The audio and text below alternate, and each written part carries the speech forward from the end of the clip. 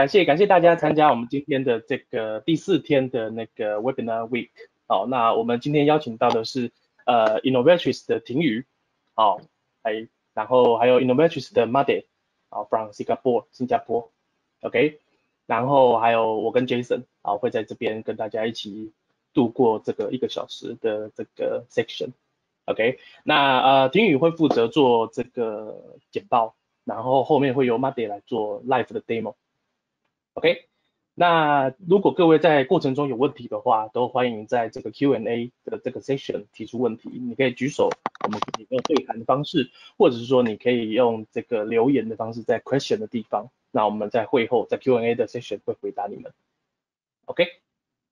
好，那我们就赶快交给婷宇。好的，呃，谢谢 Andy 跟 Jason。那呃，现在我会，各位看得到我的简报吗？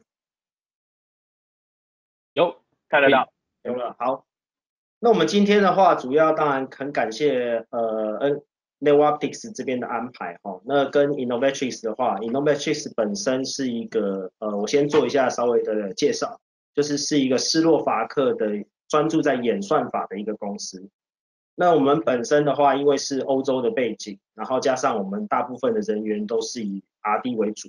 所以说，超过百分之七十的员工，那我们全球有一百五十位左右的员工，哈，超过七十 percent 都是所谓相关的这个研发人员，或者是做这个技术相关的一些支持啊，包含前端的开发以及后端整合相关的这些呃所谓工程师。那今天待会会介绍更多的是关于 Smart Face 这样子的一个脸部辨识的平台，那它是一个我们针对实体监控。哦，包含这个门禁系统或者是监控系统，然后去做一个搭配的一个脸部辨识的演算法。那它称之为平台，是因为我们会跟呃监控系统像 Networks 这样子做一个完全的整合，然后去达到去满足客户相关的一些需求。那当然它有很多不同层面的应用。那在我今天呃整个做完简报之后呢，会后呃就是后半段会由 Monday。我们在亚洲区的一个主管，然后他会针对呃我们怎么样跟 N 叉在搭配上的一个应用哦，然后以及实体界面的展示，那这样子的话会让各位有更多的了解，就是一个呃脸部辨识的平台如何跟监控或者是跟门禁或是跟其他的应用去做一个完整的结合。那关于 Novatrix 的话，我们当然是一个生物背。辨识背景的一个公司，那我们当然就是希望透过呃生物辨识这样的一个技术，去创造一个人们跟能够互相信任的一个世界。因为呃讲到生物辨识的话，其实就是谈到说一个身份的认证。那我们如何透过一些包含脸呃或者是指纹，甚至于呃掌纹以及虹膜等等的，去能够立刻的去辨识一个人的身份。那这个是生物辨识技术的一个主要的主轴，而今天我们如何能够透过这样的技术，然后去让人们能够哎立刻熟视于其他人，然后去创造一个互相信任的世界，这个是我们想要传达的一个意义。那整个公司在呃整个全球的生意上面达到了哪一些呃可能成就呢？包含所谓。呃，在建制资料库上面，其实全球上面已经超过十亿笔的人已经被注册到我们的系统。那它注册的方式可能透过不同的一个生物辨识，包含脸部、包含虹膜、包含指纹，以及我刚刚说的掌纹啊，或者是一些其他的应用。那从零四年到现在，呃，其实 Innovatrix 在市场已经是第十七个年头哦，整个在市场的专案经验非常的丰富。那整个涵盖的范围的话，是超过五百个呃专落地的专案经验，然后以及涵盖的范围超过八十多个国家。那这些国家的话，甚至于我们在非洲的涵盖率非常的高。那这个对我们的整个演算法的精进上面有很大的帮助，是因为第一个是资料库的来源非常的丰富，然后再来资料库并没有限定在特定的人种上面或是区域上面，而是来自于呃世界各地。那甚至于对于不同的肤色啊、人种啊等等的资料库都相对的丰富，而且有很多的落地经验，所以我们的演算法在这种不同的人种啊、不同的人之间的一个呃准确度上面是有一个很显著的提升。那这都归功于我们在很世界各地有很多专案的经验，然后这个资料库的丰富性，然后能够促进演算法的准确度。那这是一个呃国外整个的成就。那我们今天讲到脸部辨识平台 Smart Face 的部分的话，它其实就是针对一个实体安法哦，实体监控的一个应用去做一个呃设计的一个这样的平台，所以它是一个可以具规模性的。如果我们今天想到可能是单纯的门禁应用，或者是监控应用，在商业大楼里面，可能是只有几个路、几个路数的一个呃影像串流，然后去做脸部辨识。那可是它也可以叠加到可能上千路，甚至于上万路一个城市安防这样子的一个应用，所以是非常具规模性的一个呃平台。那它可以同步去处理大量的一个影像串流。我们今天讲的大量，包含资料库的大量。以及说影像串流的大量，那呃，各位可以看到，其实，在处理这个所谓即时的影像串流的时候，我们会进行脸部的一个侦测，我们说的 tracking，然后包含呃 detection，然后追踪 tracking，然后提取就是 extraction，就是将这个脸部的影像转成我们的呃独家的特征码，那就可以做一个特征码之间的比对。然后达到一个脸部辨识的效果，那这时候我们就会兼顾一个准确度跟速度。那待会会提到一些相关的认证啊等等。那我们今天所有的演算法都是我们自己独立研发的，那包含从注册开始，然后一直到脸部辨识这样子的一个演算法跟软体的平台，都是我们全全部都是由我们自己独立开发的。那它各种应用的场景，可能就包含刚刚提到的实体监控哦。今天跟 Network Optics 最主要的就是关于门禁监控这些的整合。那以及说录影调查，是待会针对警方的部分，我们会做一些稍微更多的介绍。那是一个警方在做呃可能犯罪搜寻啊、犯罪调查，然后嫌疑犯的一个追踪等等的一个应用。那其他的广泛应用的话，可能今天会包含所谓现在远端办公。然后会有这种脸部授权的需求，或者是说呃所谓商情分析哦，在零售店面你需要知道一些大数据化的一些分析，然后我们还要做到去识别化，也就是我们并不知道该员的真正身份，我们可能只会跟他给他一个流水码哦，像这样子的一个呃年龄、性别，然后以及跟呃甚至于可以跟 POS 系统做整合这些其他方面的应用，那呃可能会后我们会找机会再找。时间去做深入的讨论。那今天会专注在门禁监控以及录调查上面。那主要的一些功能的话，刚刚讲到的脸部辨识啊，一些暗藏的实体应用，我们待会会做更多的介绍。那整个功能的完整性，在 Smart Face 这个平台上面可以做到一个完整的呈现，包含呃相关的操作界面啊、设定啊等等的，我们都有自己的一个自己设计的一个界面，然后能够跟呃，N 叉的整个平台是啊在一起的。那另外我们会有自己资料库的一个登记站的一个设计，包含 Mobile App，以及说可能透过网页的方式去做一个呃资料库的注册哦，人员的一个注册，然后我未来的脸部授权跟比对。那 NIST 的话是一个美国的一个认证的机构，那它针对所有各家的呃脸部辨识的演算法有做一个评比。那我们在这上面的一些评比都是属于名列前茅的部分。那除此之外，呃，这个相关的评比有非常丰富的一个呃各种项目。那从一对一的比对到一对多的比对，甚至于呃近期因为 COVID 的关系有口罩的辨识这些，那这个的话，呃，Innovatrix 都是一直有去参与这样子的一个评比。那也有完整相关完整的报告。那本身我们是呃纯软体的一个呃部分，所以说我们也是一个很开放的平台，去跟第三方哦像 Networkix 这样子的一个平台去做完整的一个整合。那是透过一个 Meta Data 的方式。那待会就可以看到在中期资料的整合上面的一个呈现，会是一个什么样的形态。那再来就是我们支援各式的一个硬体的平台哦。那包含从呃操作系统上面，有 Windows 的版本，有 Linux 的版本，然后以及说各式的包含呃 Intel 的 server 或者是 AMD 架构的 server，那我们甚至于可以用到纯 CPU 的计算的方式，来支援这样子的一个软体的运作。哦，那当然用 GPU 搭配 CPU 是会是一个比较常见的做法。那小到说我们像一般的小型的 IPC，我们所谓 Jackson 哦，NVIDIA 出一个 Jackson 的平台，那那个我们都做了一些完整的一个测试报告，所以说就可以知道说在呃把同样包含呃 N NX 的软体加上 Innovatrix 的软体放在同样一个小台的 IPC 里面，这样子的效能我们都做了完整的测试，而且有落地专案的经验。那各式摄影机的话，就是因为本身 NX 也支援各式的摄影机，那我们的话也会支援各式的摄影机。那讲到使用情境的话，就是关于门禁的部分，然后可能呃针对实体监控的话，就是公共安全部分，然后以及录影调查的一些介绍。那我们这边在讲门禁的时候，为了做出有效的区隔。因为呃，虽然我们的演算法也有支持所谓平板哦，测温平板这样子的应一个应用，但为什么呃人们会更偏向使用摄影机来去达到一个门禁安防的一个需求？是因为第一个就是所谓无感，无感的使用体验是说我们可以用既有安装的摄影机哦，它可能不是在闸门机周围去做一个新的建制哦，很多甚至于是直接放在闸门机上面用一个所谓半球形的摄影机。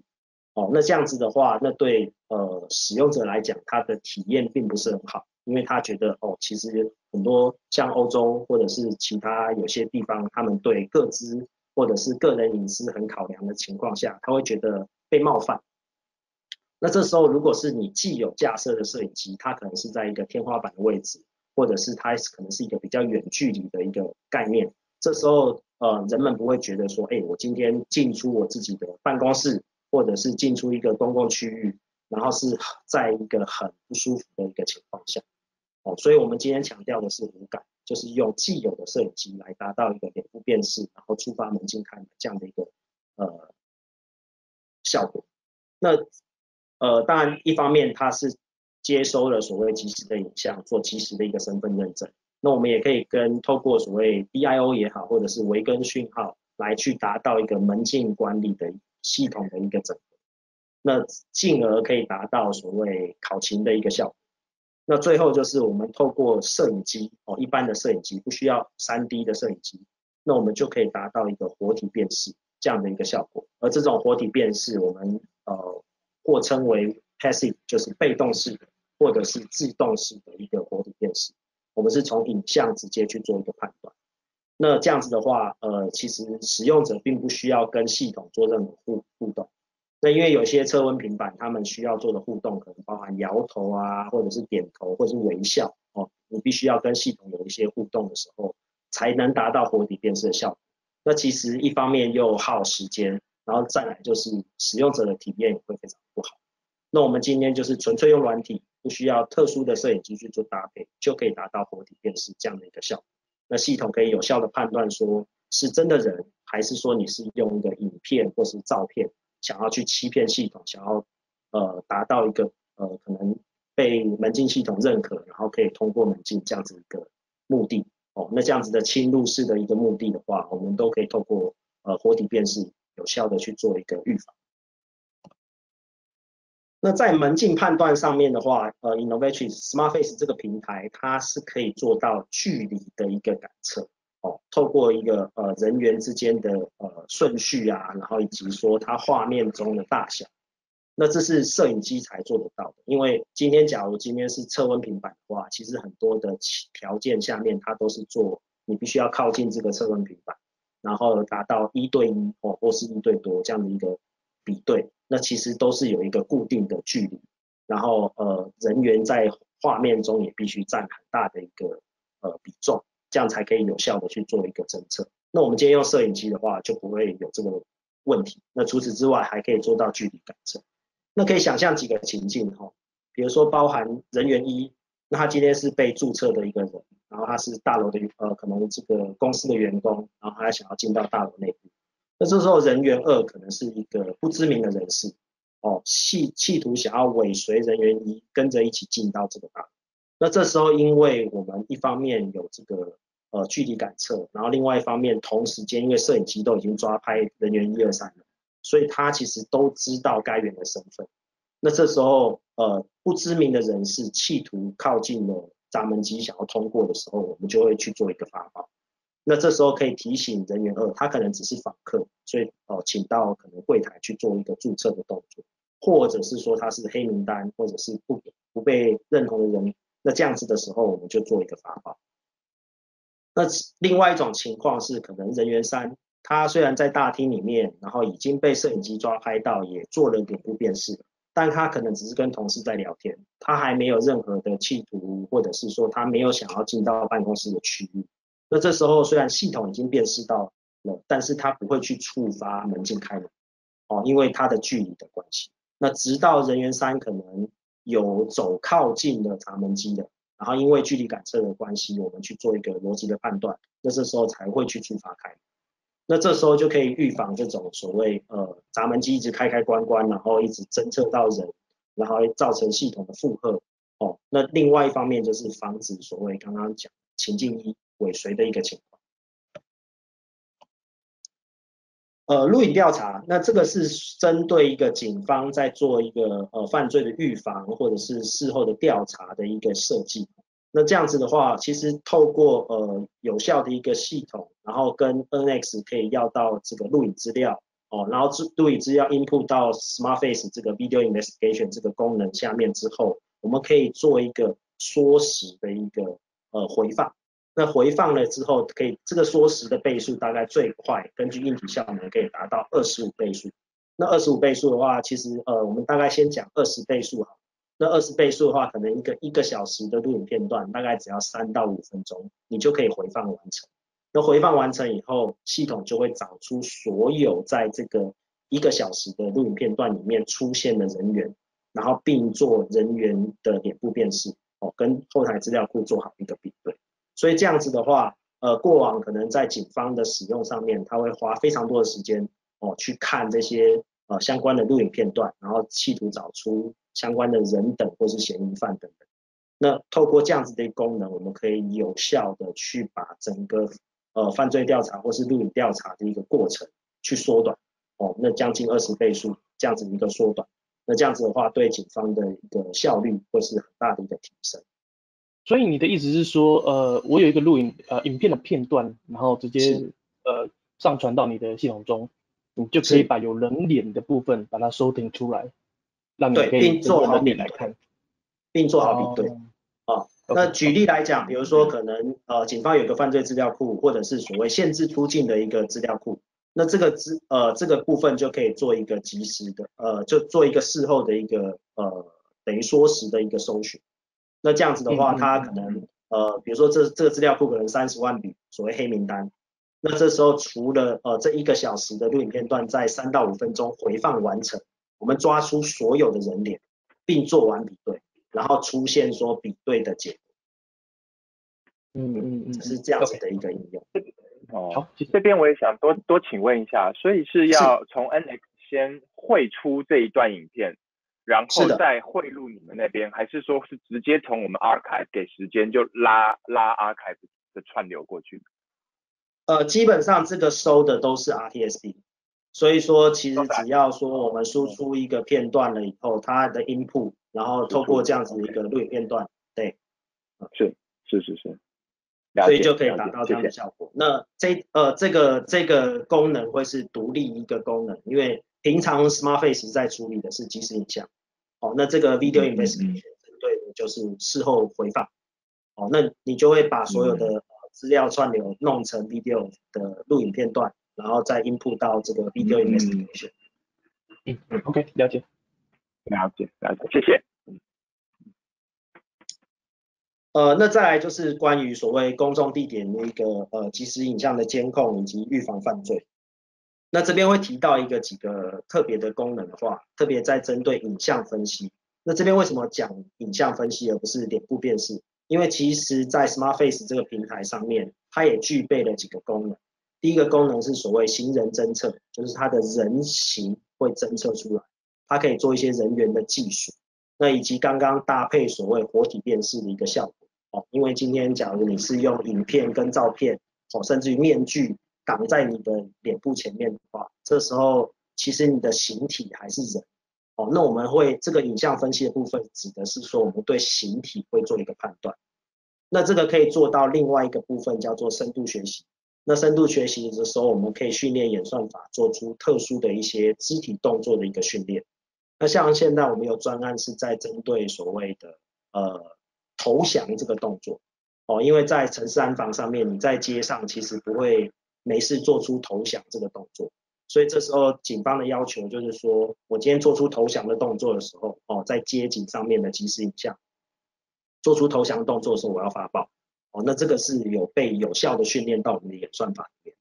哦，那这时候这种影像分析是针对。呃，犯罪调查或者是犯罪预防这样子一个呃目的去做出的研发，那当然整个的黑名单啊、白名单啊这种是可以做很弹性的管理。那我们有一个即时通报的呃一个部分，那搭配呃 NX 的平台，我们可以做到一个很细节的一些呃可能像是呃日志啊这样子的一个报告哦来去做一个输出。那这样对警方的可能长官啊或是管理阶层。都会有很大的一个帮助。好，那最后当然就是呃我们整个软体的呃跟 NX 的平台的结合哦，那这样子的一个应用会是更广泛的应用。好，那讲到一些特殊功能，因为相信各位听了非常多的一个脸部辨识啊演算法，现在已经算是市场上的一个显学了。那到底 Innovations 加上 Smart Face 这个平台的特殊点到底在哪？呃，首先第一个就是所谓自主的名单学习哦，那这个的话就是也是深度学习的一个展现，就是透过每天的使用，其实系统会去抓拍有效的影像，然后去做资跟资料库中间的一个比对，并且去更新资料库。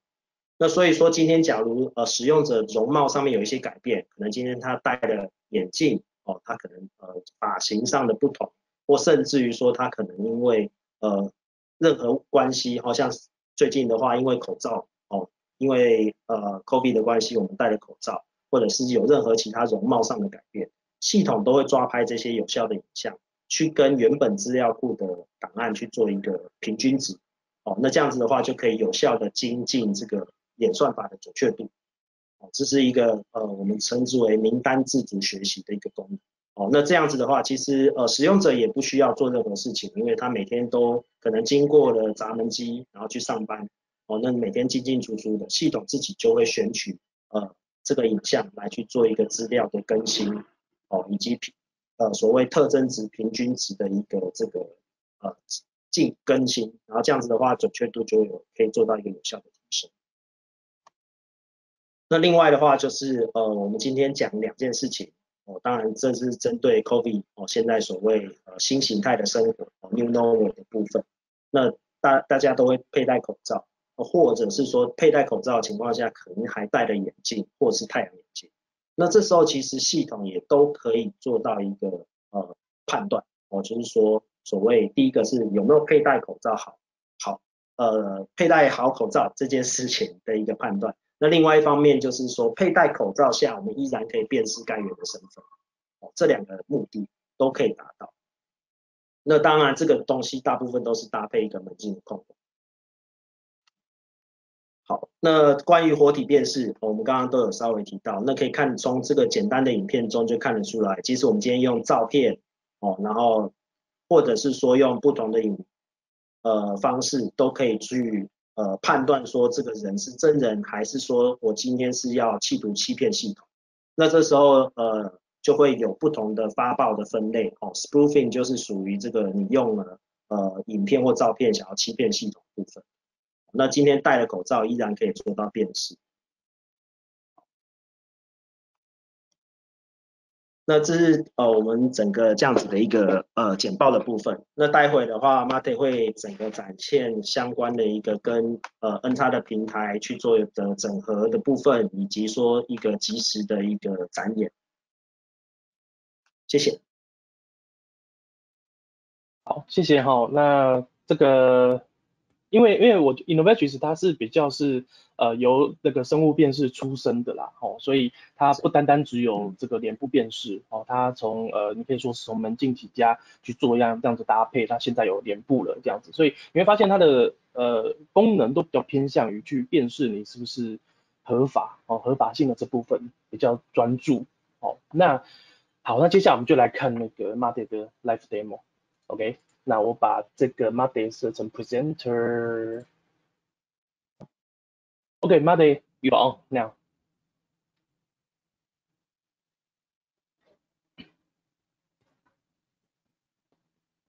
And Muddy, you are you are on mute.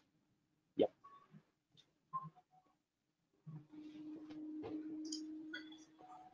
Hello, everybody. Good morning Hi. from Singapore. My name is Mate, and I'm going to continue this webinar with uh, our live demonstration. I hope my screen is visible now and you can see my live video in NX Witness. Yeah, no problem. Yeah, very clear. Mate 是我们的区域的主管，然后他现在人在新加坡。 那到时候关于技术的服务也会是由 Mate 来去做一个提供，所以这样子的话可以达到一个零时差的服务，在整个亚洲区的话，或者是很小的时差。那呃 m a t e 现在展演的就是一个即时的影像，然后透过它的即时影像，然后以及 NX 的整个界面，那就做一个呃即时影像的展演跟呃整个相关功能的一个介绍。So right now I'm using NX Witness along with our Innovatrix Smart Face integration. 那现在就是属于 NX 的一个界面，然后以及 SmartFace 这样的一个平台的一个呃中期资料的整合。So what we developed uh, together with NX is a plugin, is a direct integration of Innovatrix SmartFace as the video analytics engine into NX VMS. 所以我们就是架构在 N 叉的一个平台上，然后有 Smart Face 这样子的一个脸部辨识的一个呃，算是呃软体之间的整合。那这样子的部分的话，都有相关的设定，可以去做一个呃相关的一个调整。 This Smart Face plugin has a very simple, quite user-friendly configuration directly here in the NX Witness user interface. 呃，那这样子的话，SmartFace 在 NX 这样的一个平台上面是有一个很呃很容易于使用的一个设定页面，嗯，然后以及说相关参数的一个调整。 As you can see, SmartFace uh, plugin needs some very basic configuration of how NX Witness server must be connected to the SmartFace server running on the same or on a different machine. And we can also configure which metadata is SmartFace supposed to send in real time to NX Witness? 呃，首先第一个部分是关于两个平台怎么样在 server 跟 server 间去做一个借接，然后透过什么样一个 port。 那再来的话是相关的一个中继资料如何在即时影像上面做一个呈现，这些都是可被设定的。那这些细节的话，包含呃脸部的部分，然后所谓年龄、性别，然后该员的身份。然后该员的群组，哦，就是他在黑名单、白名单或是相关不同的群组，哦，以及说所谓呃，如果今天要去识别化的话，它有一个系统给定的流水码，哦，这些目前都是可以被呈现的。那这时候我们可以说，今天我要呈现的叫做呃一个呃随机的流水码，而非定语，或者是说 Andy 或是 Jason 这样的一个身份。Besides the basic metadata, we are also pushing some analytics events into NX Witness from SmartFace. So it's very easy to configure uh, some events, some triggers um, based on identified person, uh, non-identified person, or different metadata, which are pushed from SmartFace to NX Witness, and to create um, different actions. So create bookmarks, or to trigger an alarm, or basically anything that is uh, enabled in NX Witness. 所以除了中继资料的一个呈现跟设定之外，我们也可以设定所谓呃警报的触发类型，那包含可能该源是被呃 呃注册到系统里面的哦，所谓被授权的人，或者是所谓不被授权的人哦，所谓 unknown 不知名的人士。那当然这边呃所谓被授权的人，可能他有可能是两种，一种是说他是被列入白名单的，所以他是 VIP 或者是呃员内部员工。那另外一种是说他是在呃黑名单里面的群主，那他依然会被通报，只是说他可以用不同的呃事件的触发来去做不同的做动。哦，那包含说可能书签的相关一个设定。哦，之后我们可以在录影片段里面直接搜寻呃可能 Andy，那这样子就就可以找出 Andy 今天呃出现过的各个时段，这样子一个书签的搜寻，或者是说相关脚本的设定。然后来透过 NX 强大的一个呃事件的一个管理跟触发的一个逻辑，来去做很多不同的应用跟做动。So once both NS, NX Witness and SmartFace and the plugin are configured, you can start using the VMS along with this real-time FR. As you can see, we have a very smooth, um, uh, really uh, powerful and um, uh, high performance uh, and very accurate integration and FR engine, which keeps sending these metadata into NX Witness in a real time so we can display this bounding box, face tracking, and all the metadata and the identification results very smoothly in real time. 呃，除了所以除了刚刚提到的中继资料设定，然后事件相关的设定，一旦完成之后，我们就可以看到在即时影像上面，呃，这样子一个中继资料哦，在 Meta 的脸的呃 Meta 的脸的下面去做一个呈现之外，那整个过程是非常的一个呃顺的， 然后整个系统今天 Meta 应用的是它自己的笔电，就可以达到这样子的一个效果哦，所以说我们在准确度。以及说所谓呃硬体效能上面的呃消耗，其实都是相对小。那这样子的话，就可以达到一个很完整的呈现，不会有所谓呃呃延迟啊，或者是说整个中继资料上面一直做不断的改变啊，或者是不准确等等的现象。In the current version, uh, we are sending a set of uh, meta information uh, into NX Witness, uh, which are now displayed uh, below this bounding box here. So those are um, estimated age of this detected person and gender. Those are probably more related to retail use cases, for example. There is a mask status, whether or not this person is wearing a face mask, and of course identification results. So once this person is registered in a watch list, in the blacklist or whitelist or a different kind of um, this different kind of kind of gallery. Uh, we also display the name of this person right now. As you can see, I'm registered as uh, James Bond. Uh, it's not my real name. OK，好，那这个中继资料的呈现的话，除了刚刚提到的年龄跟性别哦，是针对这些商情应商情分析的应用哦，大数据的收集啊，针对零售店面这些可以比较相关的。那除此之外，就是呃跟 COVID 比较相关的，就是所谓列呃口罩有没有佩戴佩戴好哦，那佩戴好的话，它就会写说呃到时候会有一个 mask percent，就是你有佩戴口罩。那现在是属于没有戴口罩的状况，所以就是 no mask。那另外就是这个人员被注册的一个名字跟他所呃属于的群组。那像现在 Monday 用的是这个詹姆斯庞德。哦，所以就是零零七，那是他的一个绰号的部分。那再来就是说他相关的一个 ID，以及最后一个部分是呃他得到的一个分数。As Tingy mentioned earlier, um, the Innovatrix face recognition is continuously top ranked in NIST benchmarks in terms of face recognition accuracy and also performance. Thanks to this high uh, performance face recognition algorithm, we are able to detect, track, and identify multiple faces in real time, even in very challenging environments. 呃，所以说刚刚提过的所谓 NIST 的一个认证哦，那我们都是一个名列前茅的阶段，所以说透过这样子一个强大的演算法，包含准确度以及速度上面的一个呃高度的评价，那我们可以看到，其实，在各种严苛的环境下面，我们依然可以去做一个准确的判断。所以现在的话，Mate 想要展示的就是在不同的一个使用情境下面，哦，待会甚至于有不同的角度啊，以及呃相关的一个部分的话，都可以做到一个及时的抓拍，嗯，以及呃脸部的比对。So challenging environment uh, these days in face recognition uh, means uh, multiple things. But first of all, faces with face masks. This is something very typical these days. And uh, we face recognition technology vendors. We just have to deal with these new conditions and we have to be able to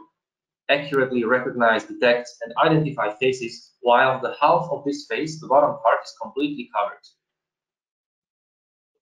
所以现在呃，因为 COVID 的关系，所以脸部辨识加上口罩的部分是一个很呃重要的显学。那 Mate 现在即将展演的所谓其中一个严苛的环境，就是脸部辨识系统必须在至少半边的脸被遮住的情况下，依然达到准确的辨识。这是第一件 uh, since mm. But this is still uh, not something that is a real life use case. In a real life use case, we have CCTV cameras on a ceiling, uh, or we have access control cameras sitting on a turnstile, for example. And those are cameras which a user, a person is not interacting with. Even if uh, the person is in front of the camera, usually they, they're not looking into the camera. And in many cases, not only the bottom part of the face is covered, but there is another kind of face cover, or the face is are only visible from an angle and not from a frontal perspective. 所以，我们刚刚讲的严苛环境，其实不是像 Mate 现在这样，即使戴着口罩，然后直接站在镜头前面。很多的时候，我们讲的无感的门禁，用了既有架构的摄影机，那个摄影机角度可能是从不同的视角， 哦，从天花板可能两到三米，哦，甚至于很多大厅是有挑高的往下照。或者是有一些摄影机是摆在闸门机上面，哦，所谓半球形的，由下往上照，这时候的摄影角度都是非常挑战，具有挑战性。除此之外，人们可能除了戴口罩之外，他还会戴不同的部分，哦，像我们今天除了 Mate 以外，三个人都有戴眼镜，然后可能有些人会戴帽子，那他不会刻意，哦，使用者不会去刻意盯着镜头去看，为了达到脸部辨识的效果。尤其今天我们用的是摄影机，嗯，那他也不见得会想要跟所谓平板去做一个互动，所以这些都是造成很多呃演算法没有办法运作的一个情况。但 Innovations Smart Face 可以。Which means in a real time, in a real life scenario, we must be able to detect, track, and identify faces even when the person is wearing the face mask. The face is only partially visible and the face is visible from an angle. For example, the person is not looking into the camera, just crossing the turnstile while, while the security camera is capturing this face. Uh, you can see that even in such very challenging environment, we are able to detect and identify those faces. So even if just a part of my face is visible, let's say only 30% of my face is visible now, still Smart Face can detect mm -hmm. this face and track this face. We can also identify that this is Mate, so it can find me in the watch list. And it also can identify that this person is wearing a face mask. So now the mask is present. If I pull the mask down, it says no mask. 所以刚刚讲的各种严苛的角摄影机角度，或者是在呃脸部被部分遮蔽，甚至于大部分被遮蔽的情况下，像刚刚 Made 展示的就是属于一个侧脸的部分，然后加上戴的口罩，那其实露出的部分大概只剩下脸部大概百分之三十的部分，所以同时间系统依然可以准确的判断它是 Made，哦，这是所谓戴了口罩依然可以侦测。另外就是口罩有被佩戴好，哦，至少有 cover 到鼻子这个部分，哦，这个是系统会去做一个判断。那 Mate 每次遮住镜头的目的是为了让系统重新跑，然后去告诉各位说，哎，这个是真的是准确的，而不是说因为系统一直持续的讲说它是 m a d e 哇，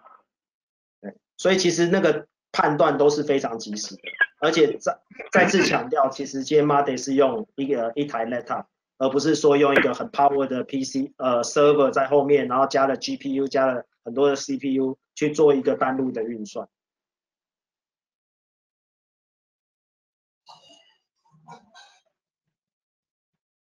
那待会的话，Mate 会做一个更多的展演，是关于说今天在呃 NX 的下面可以直接用 Web Browser 开启我们的一个使用的一个界面，所以对使用者来讲，它是一整个呃整体整套的一个解决方案。So in the previous part of the demo, we were using the real camera stream directly from NX Witness um, along with uh, the SmartFace plugin. Now in the next part of the video, we are going to use the built-in web-based user interfaces of SmartFace, which are perfectly compatible with the NX Witness desktop and user interface. 呃，所以透过这样子的一个我们自己的呃界面，然后在 NX 的界面下面，我们透过网页的部分去开启，那这时候可以达到一些设定，以及说简单的一些呃即时影像。哦，那因为我们的系统并不是专门设设计像 NX 这样一个专门设计给呃处理即时影像的一个平台，所以我们不的话只只会提供两路的一个呃即时影像，哦，然后以及下面会有一些相关的通报。那这样子的话，也许对于警卫啊等等的，它会更简单，因为它不需要做任何系统设定，然后它就是看这些及时的通报，哦，去确保这种比较大量的人流，或是每一天可能上班尖峰时间这样一个人流的进出，哦，那他不需要去一直盯着荧幕看了，哦，那当然他可能在负责的，像现在警卫大部分都在负责测量体温，或者是看人员有没有佩戴好口罩，哦，其实他没有时间一直去盯着荧幕看。那这时候只要一旦有相关发报的时候，哎，他会收到一个及时的通知，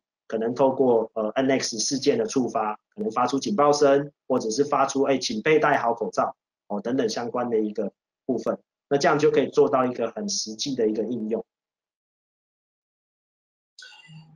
So this is the built-in web-based user interface of uh, SmartFace platform, uh, which is of course not supposed to replace the VMS. So this is uh, just an extension of the VMS. Uh,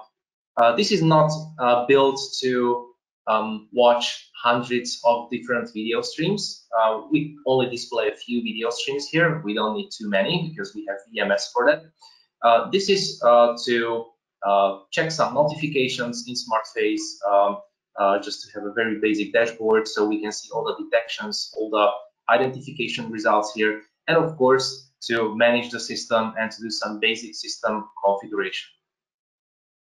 这个界面设计其实是为了搭配 VMS 的平台去做一个应用的，因为像我刚刚讲到了说，呃，这两路的摄影机其实做即时影像，我们并没有办法去处理可能上百路啊，或者是非常多路的一个路数同时的一个即时影像。 那另外的话，它其实只是做一些简单的触发跟通报，还有相关的一些参数设定，然后方便使用者去使用。所以并不是说今天要去哦去做一个取代，反而是做一个搭配。哦，这样子的话，对使用者来讲会更容易使用，然后也会有相关参数可以设定，然后但是及时的影像跟事件触发后的一些做动跟脚本，那个还是要透过呃强大的 NX 的这样一个平台。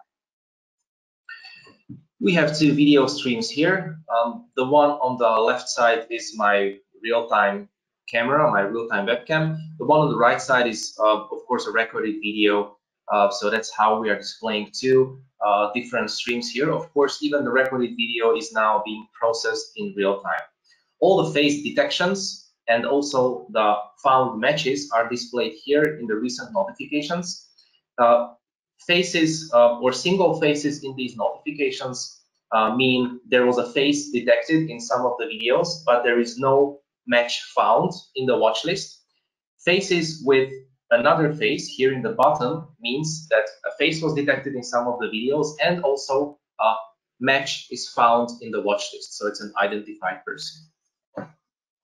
呃，左现在左手边的话是属于 Mate 在现场的一个即时影像，右手边是属于一个录影片段的一个回放。那它同时用它的呃笔电在处理这两个影像。哦，那这是我们的一个部分的一个呈现。那下面的部分的话，它是一个即时的通报。那如果今天没有被注册的话，它就会出现一个 unknown 的一个不知名的人，然后说他没有被任何的身份去做到比对。那如果下面有另外出现一个照片，就是他注册时的照片，那中间还会出现一个相关的分数，哦，他比对的一个呃用了多少特征值去做一个比对的一个分数，那这样子的话就可以做到一个简单的区分。所以这是一样是为了使用者的方便去做的一个设计。This interface also serves for managing watch lists. So here in this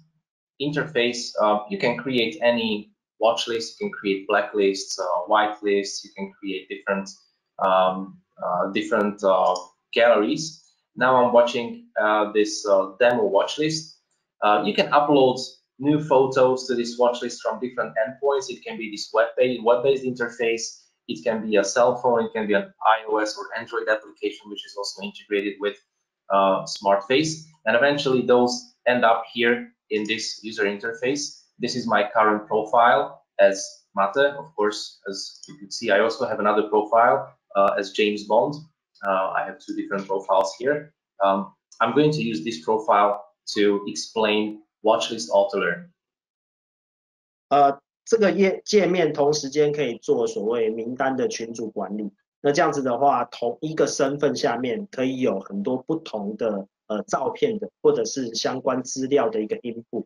那待会 Mate 会使用这样子的一个界面去解释哦，以及说现在他的 Mate 这个身份下面哦，不是刚刚 James Bond 的这个身份下面的相关的照片去解释刚刚所谓的名单自主学习哦这个部分。那这样子的话，可以知道说，哎，每一天你进出，然后这个名单如何系统会自动的去增进这个准确度，并且更新相关的一个呃资料。So as Tingy explained, Watchlist AutoLearn is one of the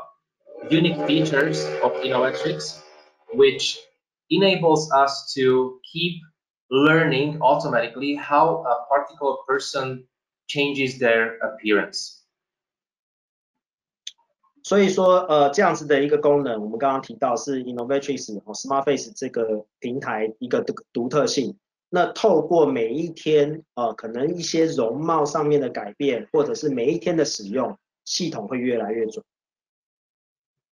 This profile Mate has only one photo which was enrolled or registered into this watch list in SmartFace manually, and this is the first photo which you can see here, my basic profile photo. This was taken using my cell phone, so I just took a selfie using our own mobile application with face recognition, and I uploaded this photo from my cell phone to the SmartFace watch list manually, and that's how I created this profile using this one single photo.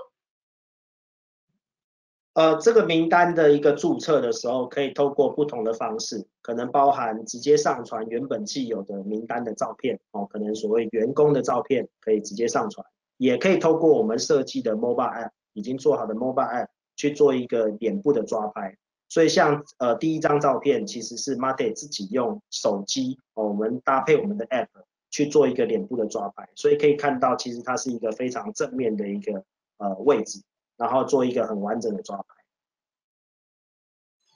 All the rest of these photos are flagged with an A. This A is for auto learn. This means that these photos were not added into my profile manually, but these photos were added by SmartFace automatically using, using the auto-learn feature, which means every time the camera detects my face, the SmartFace always detects my face and identifies my face, so it finds the match in the watch list. It also updates my biometric profile and it remembers my face from that particular point of time.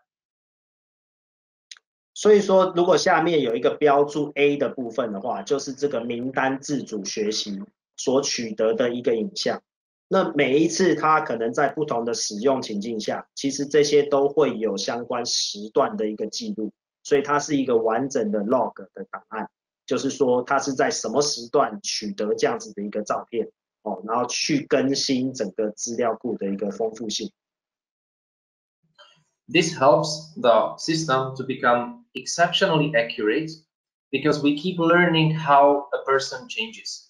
Every time I arrive to a building with uh, this surveillance system enabled, for example, my face is slightly different. Sometimes I'm wearing a hat, sometimes I'm wearing a um, black face mask, sometimes I'm wearing a white face mask. I'm also getting older, I can gain some weight, I can lose some weight. Uh, sometimes I arrive early in the morning with very strong sunlight. I leave the building uh, in in the evening when the, the lighting is not so um, uh, not so good. Uh, so from the camera's perspective, these are all different um, different uh, environments, and the appearance of that person is always different. So we keep learning and we keep updating this biometric profile of a person. So we become uh, able to detect and identify this person in many many different environments and conditions very accurately.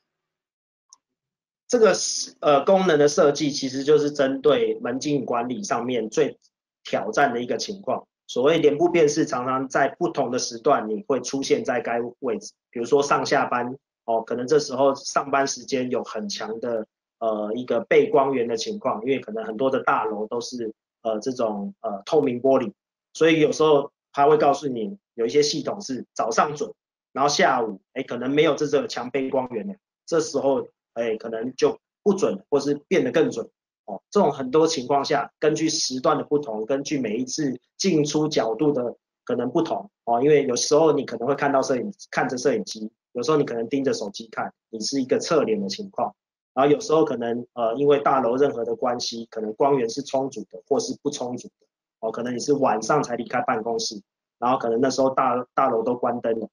然后以及说每一次你可能容貌上的一些改变，比如说你今天有戴眼镜，可能明天没有戴；今天有戴帽子，然后可能今天戴了不同的样式的一个口罩，你的脸部被涵盖呃被覆盖的范围都不同。所以这时候如果系统因此而变不准，或者是没办法判断，这是我们呃常常听到业主会有的一个情况。哦，然后变成说他必须要抠。可能是技术人员去现场再做一个调教，可是他针对那个时段调教以后，可能其他时段又再不准，所以这个 Auto Run 这个功能其实是非常强大的，因为我们透过不断的一个自主学习，我们可以去因应各种光源、摄影角度以及容貌的一个不同的改变，这样子就达到越算越准、越用越准的一个效果。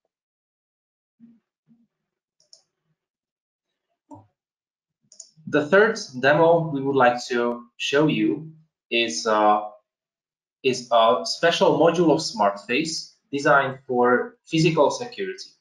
So we have a special uh, ex extension or uh, plugin or integration of uh, SmartFace, uh, which uh, is des designed for security personnel. So this access control or security dashboard with these notifications is designed for uh, a security guard or um, uh, a receptionist a, at a building, for example. And this same SmartFace integration is also connected to the physical security system or the access control backend of a building, which is triggering different barriers, uh, turnstiles using uh, dry contact or uh, vegan interface. So it also goes with the hardware integration with the physical barriers. 所以我们这边的话是展演另外一个部分，这也是属于另外一个呃 SmartFace 的模组。那这个模组的设计，除了即时的影像跟通报之外，那当然它是一个 Web 的界面，所以它可以完全的放在 NX 的架构下面。那 这时候它也同时去跟所谓的 DIO，所谓干接点啊，或者是数位讯号的输出或输入这样子的一个 device，或是维根的一个 device 去做一个整合。所以那个 layer 不需要透过太多层，因为有一些人可能会觉得说，哎，我今天脸部辨识完了，我透过 NX 的系统，然后再接接可能 MOSA 的 DIO，然后再去触发门禁开门。这时候 layer 一多，其实中间只要有任何的网络讯号啊，或者是任何的原因造成的呃 latency，可能实际感受就会是两到三秒才触发门禁开门。那这时候人可能都已经走到闸门机前面。那今天 SmartFace 的这样子的一个模组，我们直接已经整合了 DIO 的控制器，或者是微根讯号，我们可以把脸部的 ID 直接转成卡号，然后去跟门禁系统做沟通。那这时候的 layer 就会比较少，因为直接只有 SmartFace 对了这个门禁控制器。那这时候就速度上面，或者是整个感受通报上面都是一体的，因为 SmartFace 同时触发 NX 的相关的一些作动或者是事件。然后呃呃，SmartFace 可以同时触发这个呃这个呃我们说的即时影像的一个呃通报的一个呈现，然后 Smart Face 也同时触发门禁开门。所以这样子的一个以 Smart Face 作为核心去发散的状态下面，这些其他的做动都是同步的，而不是说今天要透过好几层 layer，因为甚至有些人会在暗场的应用上面是用摄影机的干接点去做门禁触发，那这时候还多了一层摄影机，哦，所以那个 layer 一一多，我们在实际的暗场应用碰到很多的回馈，关于业主的回馈或者是使用者的回馈，都是 layer 一多，速度就慢。然后就达不到及时的一个呃整整体的一个体验哦，所谓无感的门禁。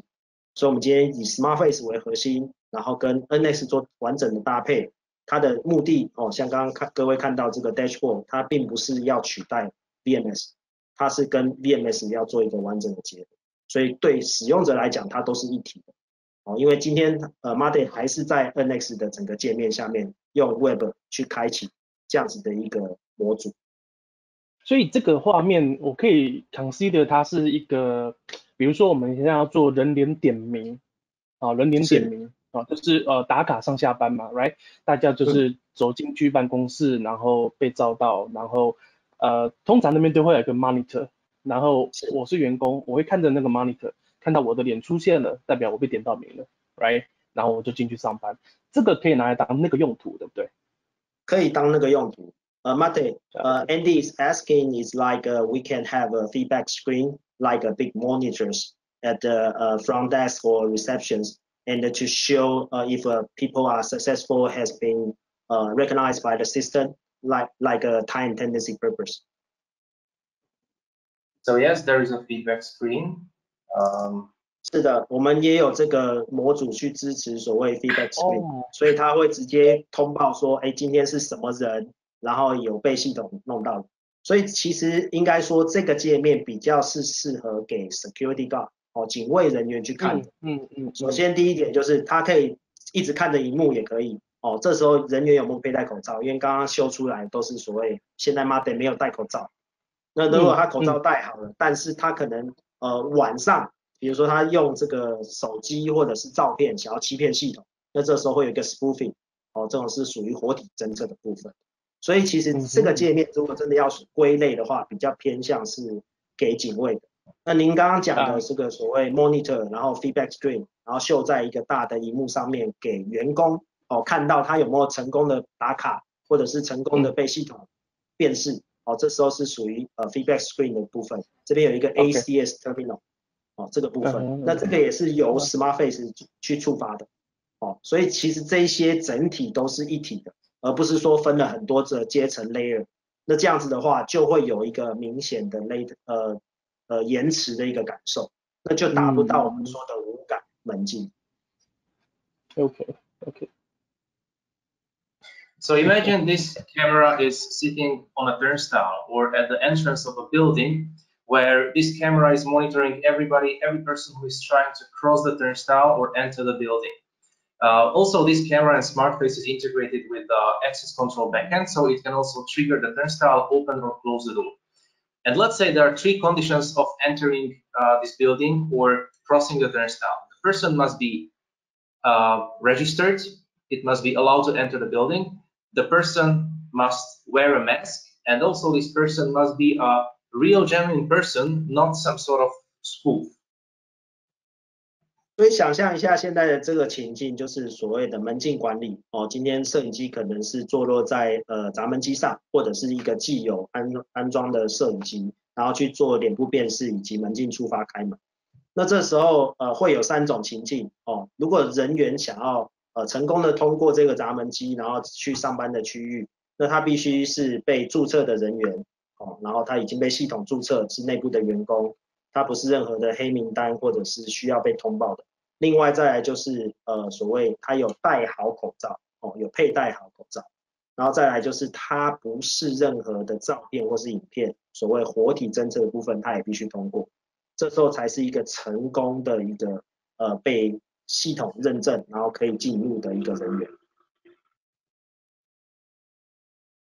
哦，那 Monday 就是很及时的一直在展示所谓，如果我要骗系统，如果我没佩戴好口罩，如果我是没有被注册的人，然后你看到那些整个影像都是很一体的哦，然后都是透过一台笔电就可以做到这些所有的模组的触发。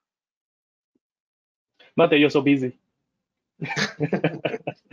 呃，Monday 现在忙碌了，一直在做一个及时的展演。So this is how this camera uh, using SmartFace can uh, keep checking all these street conditions in a real time. So once I'm wearing my mask, I'm a registered person and I'm a real person.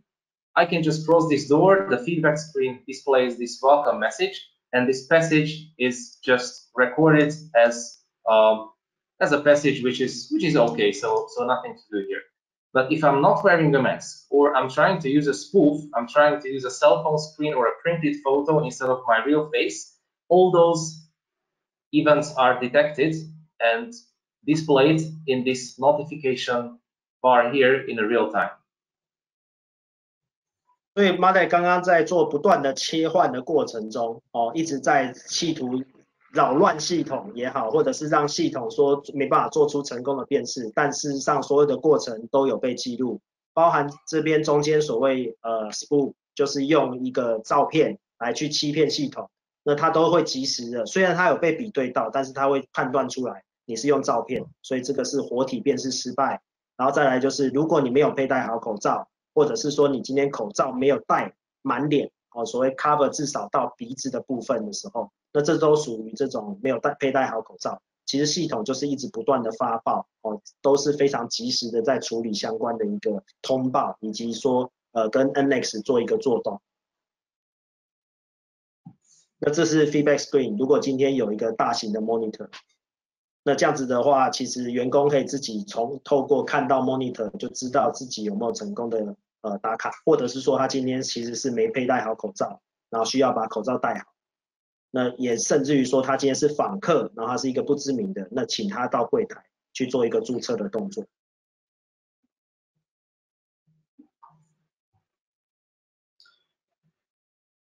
And this is it. Thank you very much. 呃，以上是我们的及时的一个展演，现场的一个展演，谢谢。OK，谢谢林宇，谢谢那个 m a d 那各位有没有什么问题可以现在发问？OK。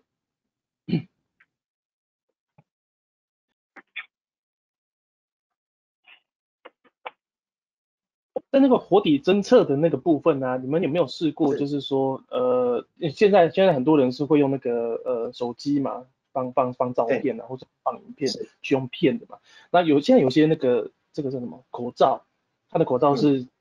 就是类似用画的，有有类似三 D mask 之类的，对不对？对对对对对对对对，那种有试过吗？Yes, uh, Mate, uh, Andy is asking if we have tested 3D mask or other uh, similar mask that uh, they, they try to just cover a partial of the face and uh, be detected by our liveness check.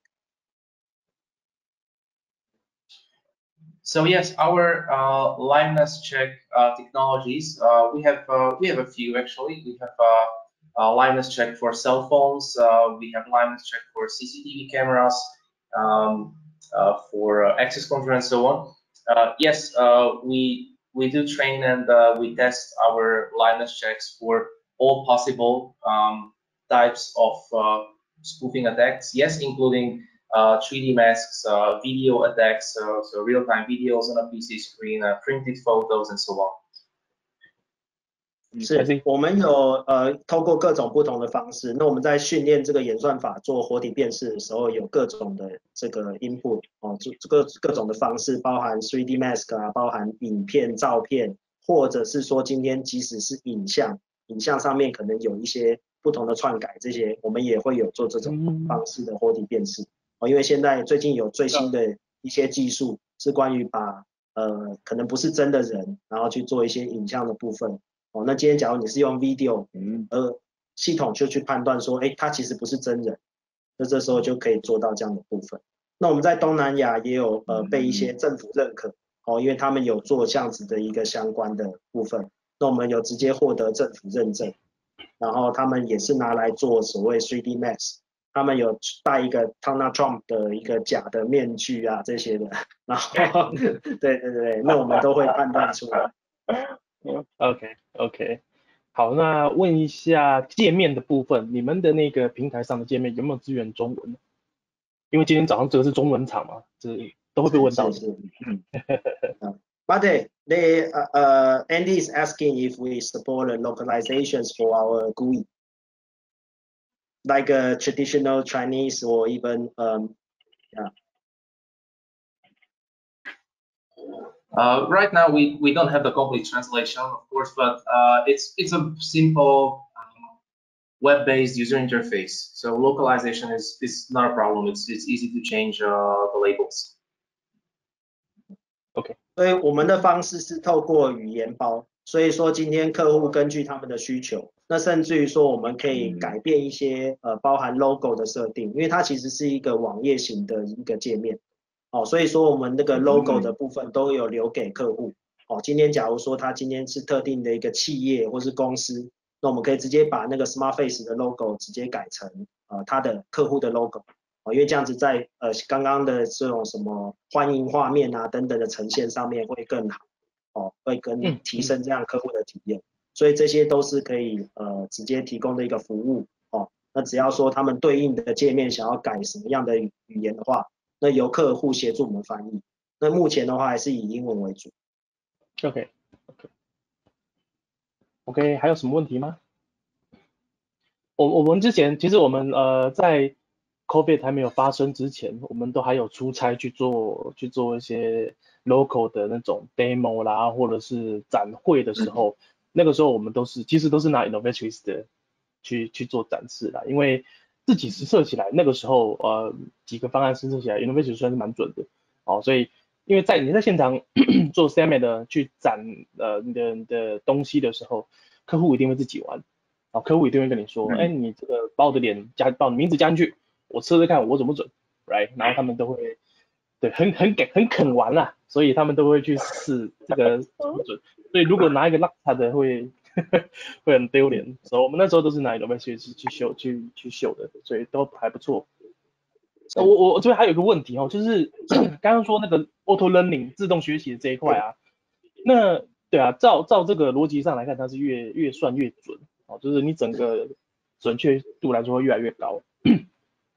那我就想到一个状况，比如说，呃，有有有一个人他是胡子很容易长长的那种，right？然后他一开始是照片是没有胡子的，然后慢慢的就是胡子越长越长。假设两个月后他胡子爆长，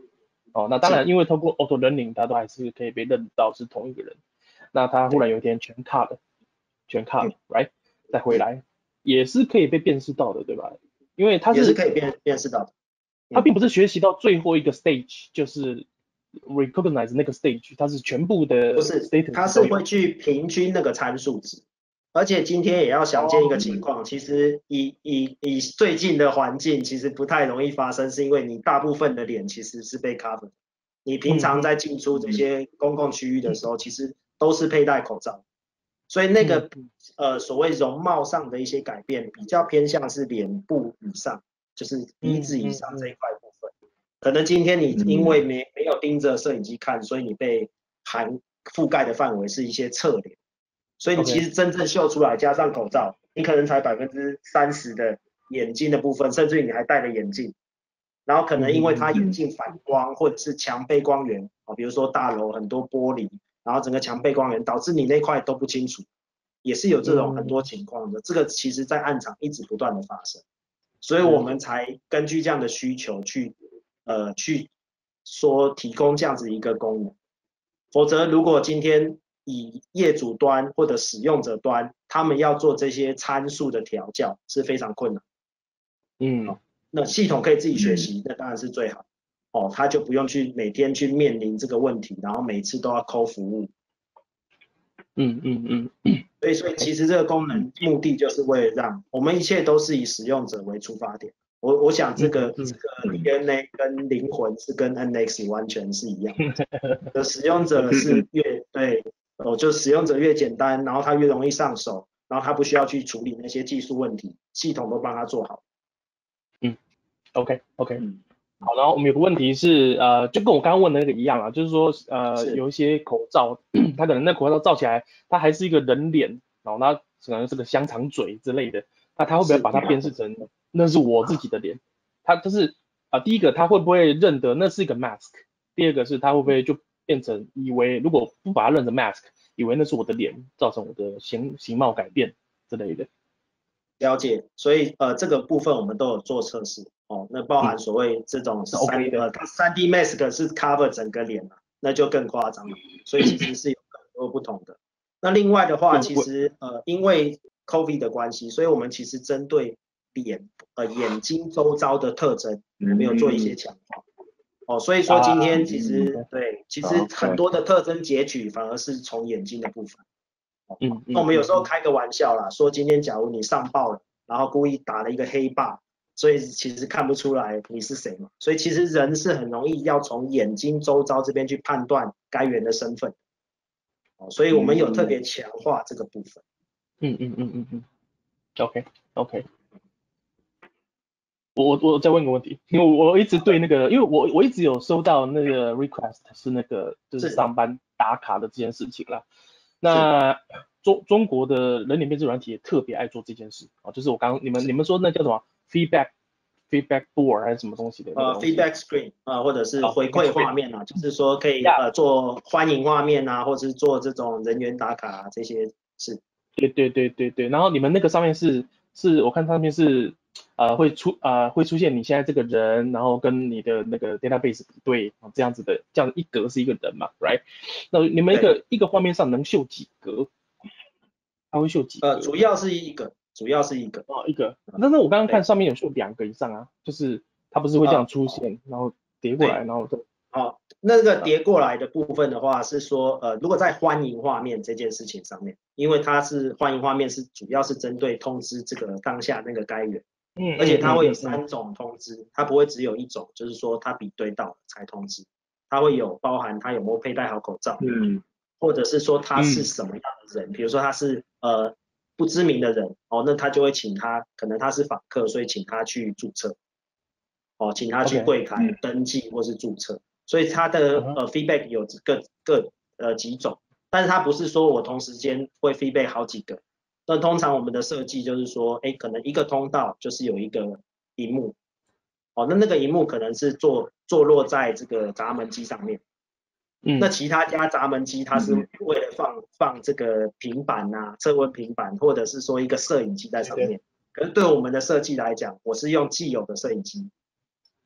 嗯哼，对不对？然后触发这个呃这个闸门机，然后闸门机上面有一个小的 feedback screen，告诉他说，哎，今天欢迎 Andy 来。哦，然后 Jason 可能是 VIP，所以欢迎你来，请到几楼。哦，这些呃 feedback screen 上面就可以直接写。哦，那这个是这个目的，而不是说我今天看到全部人员的一个呃进出。那当然，我们今天也可以透过第三方的整合，哦，另外有其他的系统，那这个都是有解决方案的。哦，那但是呃 Innovatrix 其实是专注在这种呃比较演算法本身，还有一些呃简单的使用者界面的应用。哦，那更多的一些比较复杂的应用的话，我们通常会跟第三方去做整合借鉴，也有很多这种所谓呃所谓 tracking between channels 啊，哦，比如说呃昨天你可能跟跟一些其他厂商哦，IRA 或者这些，那这种都是另外的整合。嗯嗯嗯嗯，OK，那再来就是化妆 makeup，如果化是大浓妆。先先不讲 cosplay，就是只是化大浓妆这种的，也辨识得出来吗？嗯，这种也辨识得出来，因为其实主要还是眼睛的部分啊，眼睛那边特征值大概占了整脸的话超过七成。嗯，对，哇，OK，这也是其实是一种算参数的调整啊，因为真真的是因为因应 COVID 的情况。嗯嗯哼，但是有的是眼妆，比如说正常人画成凤眼。哦之类的，然后眼影画很重这之类的呢，它也都可以吗？它也都可以啊，那只是说这个部分的话，它当然呃所谓我们讲的阀值啊，因为下面其实我们刚刚一直都会有一个 score，那个 score 是我用了多少特征点去做比对，它可以换算成准确率。比如说今天假如至少用了四十个以上的话，其实那个准确度都已经超过百分之九十五。那所以说你刚刚看到它八九十那些都是百分之九十九点几，都只有万分之几的呃错误，哦，都是百分之九十九点九几这样的一个准确率。因为我用了超过八十个特征，脸上的八十个特征点去做 matching 的，哦，所以你你你呃，假如对跟错，哦，用简单的数学来讲，对跟错，你是二的八十几次方的的的的错误率啦，哦，所以其其零点零零零零几这样，所以其实这个是非常准，对，那那你看到其实 m a d 戴口罩的情况下，那个阀值都那个 score 都已经超过四十。其实都还在百分之九十五。嗯嗯，好哦，好哦，没问题，没问题。对啊，那另外这边是可以分享一些跟 NX 的这个合作哦。我们在澳洲哦，南澳的部分有一些是被都是被政府认可的哦，所以他们一个呃呃叫做 CBS 这样的一个政府单位，他们主要是处理一些娱乐场所哦这样的部分。那我们呃其实正在写这个所谓成功案例。哦，因为我们已经被政府认可，然后有呃超过二十个 site 哦有在用哦，他们就是属于呃跟政府的一个资料库做接接，那只要人人员去那边可能做一些呃赌博啊，或者是相关娱乐性的哦，包含喝酒啊这些的话，那他只要这个场所一大，他们都需要用脸部辨识系统哦，这预防任何事情啊，可能不好的事情或是犯罪的事情发生。所以他们都会跟政府的系统做及时的通报。哦，那这个在南澳洲已经是有有这样的一个建制。那除此之外的话，我们即将去做的一些建制会坐落在东南亚的国家，也是被政府认可的。那刚刚您提及说这个中国的演算法，那呃总共有四家厂商被设定法，那我们另外三家都是中国，Innovations 是唯一一家欧洲的厂商，国外的厂商。哦，那我觉得这个是很高度的认可，那是未来呃该政府十年内所有政府相关的标案，都只会用这四家厂商。是那个泰国国防部那个吗？不不不不，是呃某新国，新国新国，对对，已经被新国认可，对对对，所以所以有很多相关的应用了，另外也有相关的专案是关于这个零售店面做大数据分析。哦，那他们也是在新国那边，那他他大概有三百个据点，对，那那个都是正在进行的中啊，对，所以其实其实是呃未来会有非常多的这样子的相关的建制，哦，那那个 VMS 的平台也都会是 NX，感谢。我以为你要说泰国泰国国防部，那明明就有 NDA 不能说。结果是 Andy，我们都说都说是都说是某国嘛哈，对啊。OK OK，还有什么问题吗？各位？那我其实就是这种 live demo 的这个 webinar，其实都会还蛮吸引人的，因为就是可以实际看到画面。那其实在这个我我们通常做 live demo 的 webinar，通常问题会少一点点，因为大家可能想问问题，看到 live demo 都嗯都已经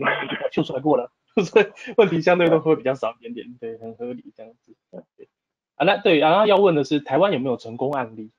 台湾有，呃，台湾有成功案例啊，那主要都是针对呃一些商业大楼的部分。对，OK OK，商业大楼，它有有能够分享的吗？呃，基本上的话，现在很多他们可能就是先建置一两个 site，然后他们是针对整个专案，对啊，那所以说现在才比较是偏刚起步啦，但是是有成功案例的。对，OK，好的好的，你刚刚说呃，如果在呃就是在这个亚洲区这边，通通都是您跟这个呃 m a d 在在看的嘛，然后 a d 是做技术资源对吧？对，主要以技术资源为主，嗯，好，感觉很可靠。是是，因为整个呃，其实建制的话，我们在亚洲有四个四个人。啊，那四个人的话，其实包含印度哦，印度也有一个代表，那有另外一个同事跟 m a d 也在新加坡哦，然后我自己本身在台湾啊，所以这样四个人的建制。那呃，因为我自己的背景是从监控过来的，所以说相关监控啊、门禁啊这些实体安防的，以跟脸部辨识演算法的结合。会是我的强项，哦，那 m a d 在公司的话已经超过十年了，哦，所以他刚毕业就在公司了，一直到现在，对，所以说他整个哦从呃所谓，因为我们是生物辨识背景嘛，那专注的其实一开始是大型资料库，哦我们在东南亚建制都有上亿笔的这种资料库，哦也是政府专案类型，那它也可以跟 Smart Face 做接接，哦所以他们的应用就是警方在街上可以用即时影像或者是录影片段传到大后台。去做这个刚刚讲的，比如说录犯罪调查、录影录影调查这种，嗯嗯，哦去做比对，或者是警方直接用呃手机抓拍影像去跟大后台做比对，那大概因为网络环境啊，东南亚很多网络环境不是那么好，所以他们差不多花十秒就可以比对出该人身份，那那个是一对两亿比，因为那个资料库目前是两亿，OK，两亿那我就知道是哪个国家。是是是 人口也不多了，也不多。对啊，所以所以我们都是专注在这种资料库的比对啊，一开始。那当然现在就是有很多这种整合应用啊这些。嗯，那讲讲到那个两亿那个国家，所以你们穆斯林辨识也都很 OK，也都 OK。啊，刚刚有讲嘛，一开始介绍的时候，其实我们在非洲的相关的市占率超过六成。那那种包含着就是国民身份证，然后还有包含一些呃电子投票哦，因为他们对他们来讲电子投票那个投票的呃花花费很高啊，如果要印纸本哦，因为有些国家的选举人资格比较低哦，所以说大家都可以参赛，所以他们选举人名册可能超级厚，大概这么厚，对不对？那每每个人要投票人手一本，其实那个成本还不如做一个这种电子投票的机器。哦，我们都有做这种相关的啊，那那种就是纯粹的呃黑肤色的人，对啊，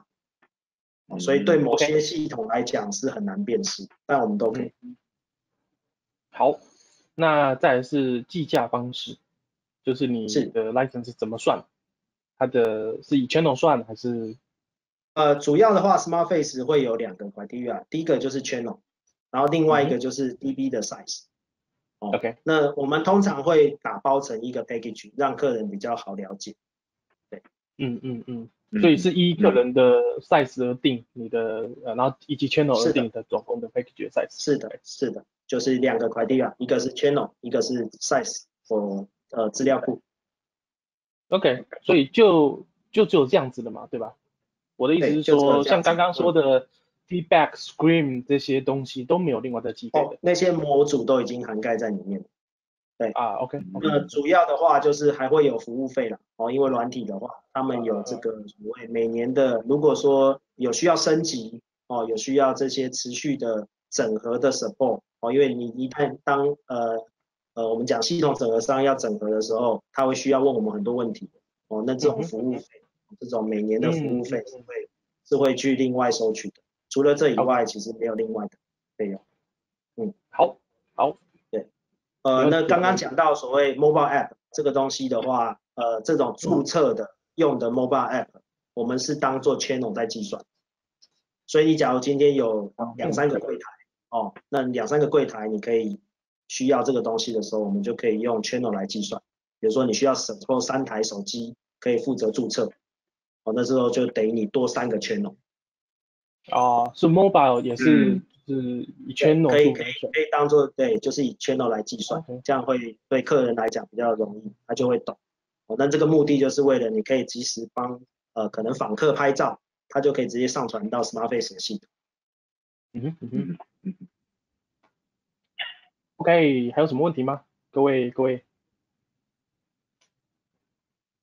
好，那如果没有问题的话，有任何问题都还是尽量欢迎 email 给我。跟 Jason 或是这个定宇这边哦，我们都其实我们跟伙伴之间的整合呃的合作啊，都是算是蛮密切的哈。我们呃不希望给客户感觉到说我今天要用这个方案是买两套系统的感觉好，所以说基本上你今天不管是买些东西，找到我们其中一个人，我们其实都可以帮你搭在一起，你不会有就是找不到人的这种概念哦。所以就算你有问了任何问题啊，关于 innovation 的问题，你忘记他的 email 是什么了？你寄给我们，我们也都可以帮你 engage 过去，没有问题。好，所以有任何问题都欢迎再联络我们。好，连连连衣服都快穿一样了。我们三个好像。对 呀，好，好，那如果没有问题的话，那就非常感谢各位今天的参加。好，那我们今天上午的 session 就到此为止。那下午还有还是有另外一场 Innovations 的英文的版本，那就是由马爹做整个主讲以及那个 live demo。所以有兴趣的话也欢迎来听。哦，通常上下午这个中文英文会稍稍有点不一样，就是内容应该是一样的啦，但是因为即兴即兴演出嘛，啊，就是可能稍稍有点不一样，所以有呃有兴趣听也都还欢迎再参加下午场。OK。好，然后这些呃呃呃，我们也都会录成影片，未来会放到 YouTube 上，所以也可以欢迎到 YouTube 上面去搜寻 Network Optics，哦，呃，可能大概一两周吧，然后你就可以看到这些呃录影的资料，哦，想要再重看一次，多了解一些的，或者 share 给你的伙伴们的，哦，都欢迎看一下。OK，好，那就感谢各位，感谢各位，谢谢，谢谢，谢谢。大家，谢谢婷宇，啊，Thank you, Thank you, Monday. Thank you, matey 大家下午见喽，谢谢。Yeah, have a good day. Bye. 拜拜。拜拜。